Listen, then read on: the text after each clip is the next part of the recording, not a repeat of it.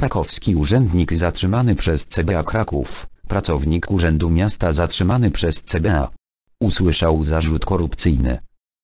Pracownik Urzędu Miasta Krakowa usłyszał prokuratorski zarzut przyjęcia korzyści majątkowej.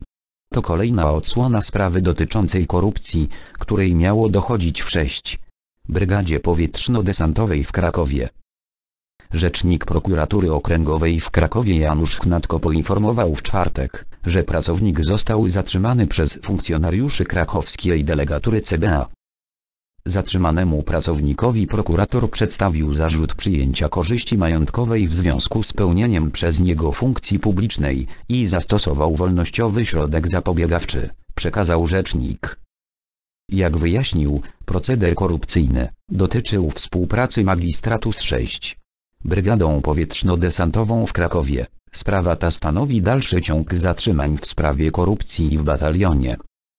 Zarzuty dla 24 żołnierzy Jak dotąd prokuratorskie zarzuty usłyszało 24 żołnierzy, dwóch z nich sąd tymczasowo aresztował. Prokuratura, jak przekazał jej rzecznik, nie wyklucza kolejnych zatrzymań w tej sprawie, z uwagi na rozwojowy i dynamiczny charakter śledztwa, a także na pojawiające się kolejne wątki.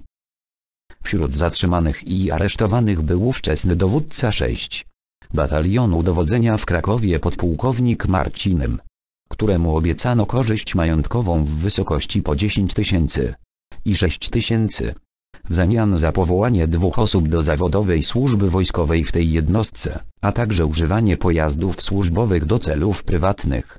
W śledztwie pojawił się też wątek wręczenia M. korzyści majątkowych w zamian za skierowanie żołnierzy na misje w Kosowie i na kursy podoficerskie.